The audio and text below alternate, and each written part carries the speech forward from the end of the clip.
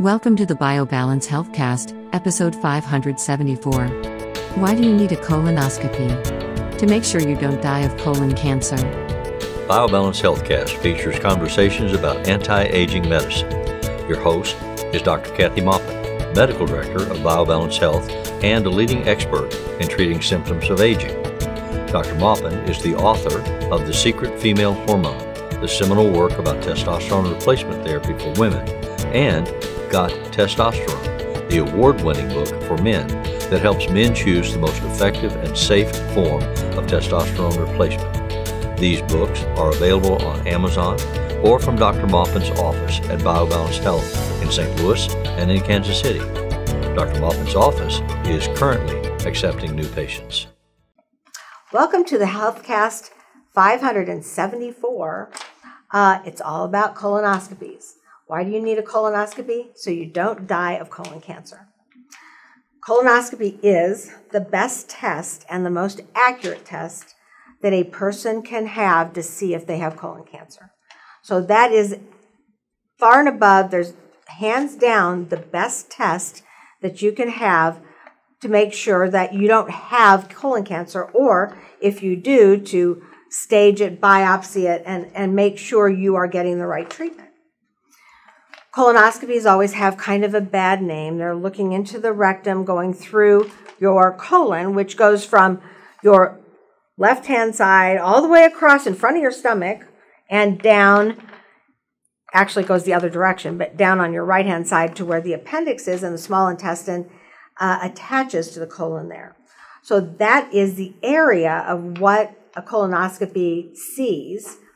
But your colon is really long and it's kind of like a slinky. It's it, if you push it, you know, it's pushed together and it has all of these kind of undulations, kind of wrinkles that you that they have to look at in between the wrinkles to make sure that there's no polyp or there's no bleeding, there's nothing wrong. All this all of the tissue on the inside of your colon looks normal. So it's it's very important that when you are going to have a colonoscopy, that you have the proper prep before the colonoscopy. Now, it's gotten better over the last 10 years since I've had a colonoscopy when you were uh, without food or any liquids besides water and Gatorade, clear Gatorade, uh, for 24 hours. Now they've honed it down to 18. Most of the time you're asleep, and you only have two drinks that taste kind of like salt water that cause you to have uh, to clean out your intestines, to have essentially diarrhea, so that you have nothing coming out that isn't just clear water, so that they can see what they're doing. It's really important for a colonoscopy doctor, to, which is a GI doctor, to look and see everything. You don't want them to miss anything. If you have not done the prep right, they'll do your colonoscopy and say, ah, that's not adequate. Come back next week. And you've got to do it all over again. So I would not advise that. Follow the directions of your doctor for a colonoscopy to see if you have colon cancer. Now, colon cancer. It's the third most common cancer in the United States. Um, it's something you don't want. Usually, if you have a precancer, they see polyps or they see um, adenomas or they see bleeding from the wall of your colon, and that's how they tell that there is something wrong and maybe a cancer there while they are looking with a camera through your colon. They are also using teeny tiny little graspers and scissors to take a piece of a polyp or something that looks abnormal and sending it to pathology to make sure that you don't have anything that is cancer or precancer. That's basically the procedure. Looking, biopsying anything that is suspicious, and then then basically you're done. Your part is the is the prep. Their part is making sure they test everything that they think is abnormal and then telling you what that means. The biggest issue with a colonoscopy for me is that you have to go to sleep. And it's a sedation. It's not really it's not really like anesthesia. You get intubated and you are completely under anesthesia. They don't some places do that, most don't. They just sedate you for this procedure so you don't remember anything you you aren't in as much pain, I guess you would call it, if as if you were you had nothing. I can't imagine doing it without anything.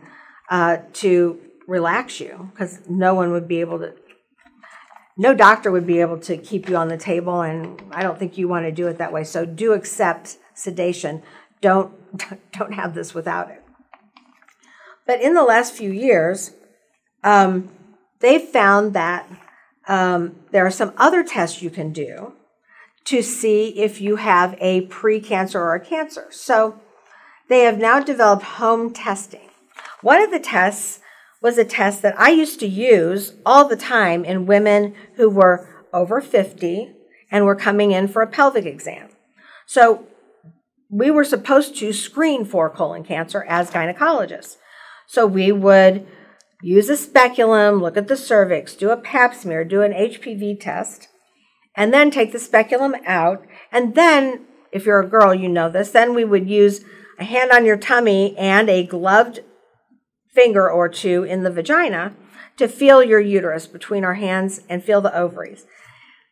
Then we would use a the same gloved hand with lubricant on it to test the rectum. So we would feel the vagina and the rectum, feel for masses in the rectum, and then test what was in the rectum on a little card. And you just wipe it off, take your gloves off, and then put a uh, developer on it. it. If it turned blue, there was microscopic blood in your stool. Now, generally, no one with colon cancer is going to see gross blood, like red blood, coming out of their rectum unless it is really bad and really advanced. And I don't remember any of my patients ever complaining of that. Usually, if they uh, ended up having some kind of precancer or cancer, they, they had no symptoms except maybe changes in their bowel. So, what makes you at high risk for this type of, of, of problem where you would have to have a colonoscopy or test yourself? That would you would have uh, one person in your family at least who had colon cancer, who was a close relative. That means uh, a sister, brother, a mother, father, or a child. Um, that was actually had that disease to put you at very high risk. Then, if you had a, a personal history of having adenomas or polyps on your colonoscopy, then you were placed in the high risk group. Large adenomas that are greater than one centimeter, which is about half an inch, that were found on colonoscopy. Multiple adenomas that were found on colonoscopy. See, uh, found on colonoscopy keeps coming through flat adenomas, which are they just look like raised areas on, on the colon that are hard to biopsy. Um, and ulcerative colitis increases your risk of colon cancer. So, all of those things, if you have any of those, then at 50, you should have your colonoscopy. Some people who have a lot of family history are moved back to 45 to start the colonoscopies. Generally, in high risk individuals, you'll have your next colonoscopy will be five years, or and somebody who's not at high risk, maybe 10 years or 15 years. Um, it depends on your doctor. So your next colonoscopy is scheduled according to what your doctor tells you um, your colonoscopy uh, frequency should be. Uh, this and you should follow that. None of the tests that you can do at home replace a colonoscopy if you're really worried and paranoid about having colon cancer and you think maybe I can just keep checking to see if I have uh, microscopic blood in my stool, then you could use a guaiac at home. It's really messy. You have to use a little popsicle stick to take some of your stool and put it on a card and then put that little developer on it to see if it turns blue or not. If it doesn't, then you don't have any blood in that stool. But you're supposed to do three of them in a row. There's also a type of um, uh, microscopic blood test that you can do by putting in a piece of paper that basically turns color if there's blood in your stool. You put it in the toilet, then, then you have a bowel movement, then you look at the color of the paper. If it turns color, then that's a positive test. You need a colonoscopy. If it doesn't, you need to repeat it two more times. And if all of them are clear, then you can talk to your doctor and make sure they don't feel that you're at high risk and need to have more testing than this to prove that you're okay. Um, I still would not do this instead of having a colonoscopy. There's a, um, a third at home test, and that's called a FIT, F I T test, and it is very advanced in terms of what it looks for. It doesn't just look for blood because honestly, you can have microscopic blood if you have an ulcer or you have reflux or if you have um, a pre ulcer irritation in your stomach, you can still have blood in your colon. So sometimes that's very scary when you don't have anything that is actually cancer. But um, the FIT test, FIT test, is called fecal immunochemical test. And it tests the DNA mutations um, that, be- that are, or for those mutations that belong in colon cancer cells. So it's a different kind of test. It's more sensitive, it's more accurate, and it's more expensive. But that can be done at, at home and might be done in your doctor's office. But that is something short of doing a colonoscopy that can be done to test to see if you have colon cancer. 90%, because we, we always talk about aging and we take care of aging people, people over 50, uh, at least over 40. But um, 90% of people with colon cancer will have it diagnosed after the age of 50. Um, if you looked at the incidence in the United States, 4.2% of people with a family history will get colon cancer in their lifetime. If they have um, a close relative that had colon cancer before 50, then that doubles their risk into the 8% region. But people who don't have close relatives have a lower risk of colon cancer, which is, is good for those who don't have it in their family. Um, some of the things that I like to do with my patients if they have high risk, besides telling them that they need testing with a colonoscopy with a GI doctor who they can who can follow them at a routine um, frequency, is what when they ask me what can I do to prevent this before they get anything, before anything happens. What can you do to prevent colon cancer? And you can't change your relatives or your ancestors, so um, some of the some of the um, methods of prevention have to do with what you eat. So we need to eat lots of roughage salads, not just Metamucil, but honest to God, real salads are very good for feeding the bacteria, the good bacteria in your intestine. And the good bacteria protects you. So eating a fresh salad every day is recommended. Drinking greater than eight glasses of water a day is also recommended. Keep alcohol and, so- and soda to the minimum, any other sugary drinks to a minimum. Obviously, or maybe not so obviously, um, diabetes makes every cancer grow faster because cancer loves sugar. So if you can keep sugar out of your diet, then you can decrease your risk of getting it and slow it down in terms of growth.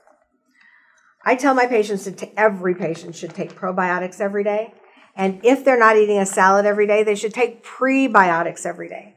Those are the prebiotics are the food for bacteria that are good for you in your intestine.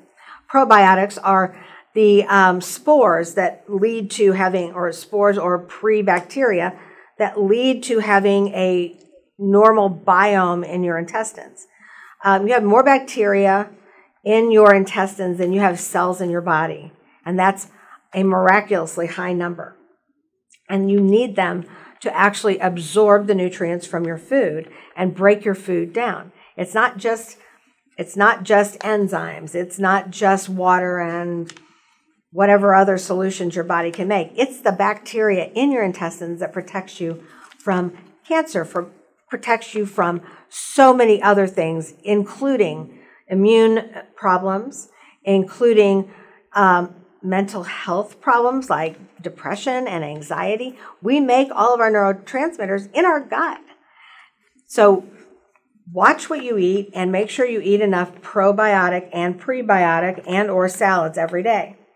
Taking vitamin D and C, they're two anti-cancer type vitamins and they are very helpful to prevent they prevent many things. C helps with your collagen. C helps to prevent the look of aging. It helps osteoporosis, but it also helps prevent cancer in the colon. So, vitamin C, vitamin D are both important preventive um, supplements to take.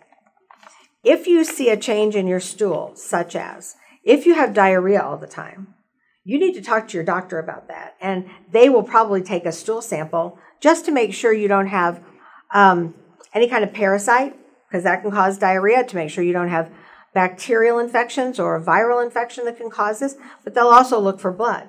So that would then lead to a colonoscopy if they thought that there was something going on in your colon that was causing you to have um, diarrhea, constipation. I mean, constipation in my practice is mostly secondary to dehydration and low thyroid.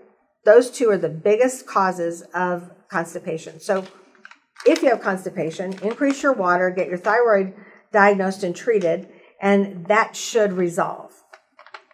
Whenever you take probiotics, oh, excuse me, whenever you take antibiotics for a bacterial infection, double your probiotics because you've got to replenish the good bacteria. You've just killed the bad ones.